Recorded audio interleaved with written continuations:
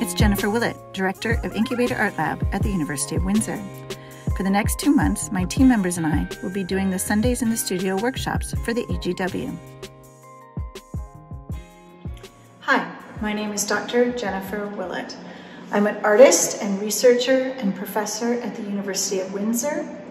I work in a field called bioart, and bioart is art where you use biological media or biotechnology to make artworks. So I'm really happy to be here today and to better connect uh, our research group called Incubator Art Lab uh, at the university with AGW. I think Sundays in the Studio is an excellent opportunity for regular people to engage in creativity throughout the week. Uh, and so today I'm going to give a little bit of a workshop on a project that I developed during the height of the pandemic called Paper um, uh, Incubator Art Lab Paper Theater.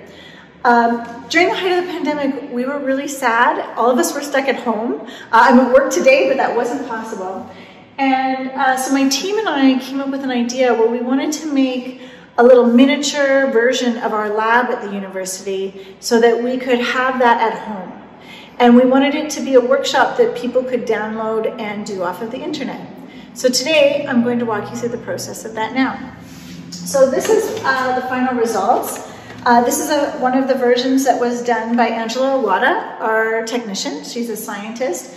And uh, if you follow the instructions available online, you will be able to download all of these design pieces and then print them out onto card stock. And so what I would do is go to Staples and get yourself a piece of paper that is a little bit heavier because that way it'll hold its shape when you make the final sculpture. So let's get online and download the Incubator Art Lab Paper Theater Kit. So first thing I'm going to do is I'm going to share my screen. So let's look at the instructions online for how to build the Incubator Art Lab Paper Theater. So if you go to our website at incubatorartlab.com, you can go into projects and down to incubator events. This is where we host all the events and projects that we've worked on collaboratively in the lab. The project here is called COVID Suit Stay at Home Paper Laboratory with Dr. Jennifer Willet.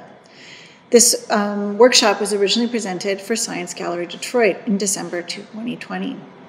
So if you have a look at our webpage here, you can see that there's two places you need to download. You need to download the Paper Theater assembly instructions, and you need to download the Paper Theater template.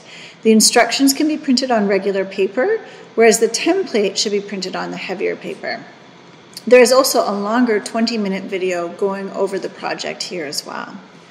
Lastly, at the bottom of the web page, you'll see some of the results from some of the students within our research group.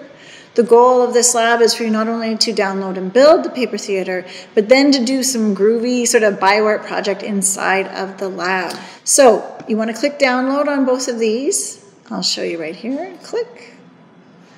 And then once you get them down, you'll have these two documents. The template is the document that needs to be saved or printed on the hard, heavier paper, which is right here, and the instructions need to be printed on the lighter paper. So once you've printed out your um, paper theater sections onto regular or onto cardstock, then you can begin to decorate them. These are ones I've been working on over the summer, and I've been using watercolor dual tip markers in order to make these sort of really elaborate patterns in them but they could be more simple. I'll show you some ones that my daughters were working on. Here is the facade on an 8.5 by 11 um, that my daughter worked on with stickers and some markers as well. Here's some unpainted um, facades. So what I do is I then I start to work on them. I'm thinking about things like stickers, markers, but also maybe gold leaf or something like that. And then you're gonna need to follow the instructions which will teach you how to cut them out. I highly recommend that you use an X-Acto knife. There is um, a lot of little cuts. So for example, this cut here in the instructions will tell you to cut that open. That could be done quite uh, in a complicated way without an X-Acto knife. So I highly recommend that you use an X-Acto knife just to make sure that everything cuts out as is required. So for example, this little piece here has these slots in it. So follow the instructions one by one, cut out the pieces and assemble them, and we'll see what you get.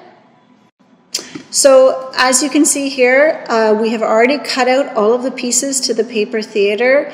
And next you need to follow the step-by-step -step instructions as illustrated by Ashley on how to assemble your theater.